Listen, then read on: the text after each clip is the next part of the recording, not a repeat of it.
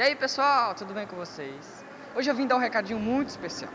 Já estamos na Semana Santa e nós do canal Beleza de Minas vamos acompanhar algumas festividades que acontecem aqui em Santa Maria do Suaçuí.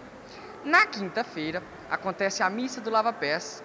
Na sexta-feira, às 5 e meia da manhã, acontece a Via Sacra. Às 3 horas da tarde, o Beijo da Cruz e às 20 horas, 8 horas da noite, acontece a procissão do enterro. E no sábado acontece a Bênção do Fogo Novo. E é claro que você vai poder acompanhar tudo aqui em nosso canal. Então fique ligadinhos com a gente no Beleza de Minas especial Semana Santa. Eu te espero até no próximo vídeo, pessoal. Fui!